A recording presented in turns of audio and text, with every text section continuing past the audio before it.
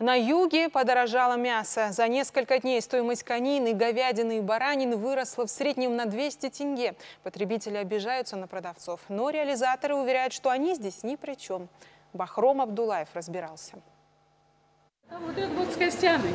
По 1700 продаю. Предприниматель Фато Асалова уже более 10 лет торгует мясом и говорит, что прежде такого резкого скачка цен не припомнит. Всего за несколько дней стоимость филе конины выросла на 300 тенге. Теперь в среднем 1 килограмм продают за 2500 тенге.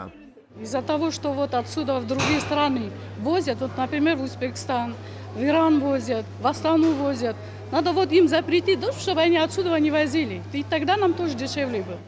Следом за филе конины цены устремились вверх на баранину и говядину. Очень дорого. Вот я сейчас купила баранину за 1800. И вот я беру всегда говядину с фаршем, 2300 мякоть. Ну, для нас в семье двое человек, я и сын. Это очень дорого. Мы как бы за неделю вот это считаем в среднем 10 тысяч на мясо только всего лишь уходит. В управлении сельского хозяйства подтвердили, что экспорт в Узбекистан и Иран сыграли свою роль в росте цен, но еще и сослались на межсезонье. Сейчас вот, э, вот ожидается отсутствие этих э, рогатых скотов э, вот, в откорм площадках. То есть в меньшем количестве. Дальше будет увеличено э, обратно вот, э, поголовье скотов в этих откормных площадках. И, соответственно, будет уже достаточно объема вот, чтобы вот, э, сдерживать цену, то есть э, нормализовать цену.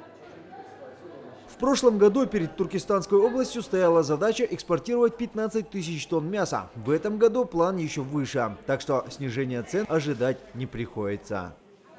Бахром Абдулаев, Виталий Заинтинов, Информбюро, Шимкент.